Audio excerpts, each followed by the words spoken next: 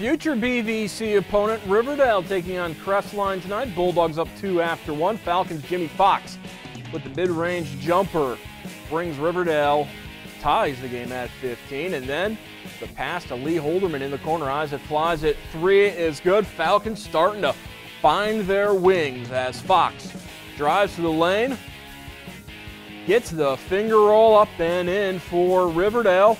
More from the home team. Chad Peaver open on the wing, hits the triple try. Falcons on a run to start the second quarter of action. And then it's Peaver from the other side of the court, hits another triple. Riverdale up by seven, and they go on to win 71 54 over Crestline.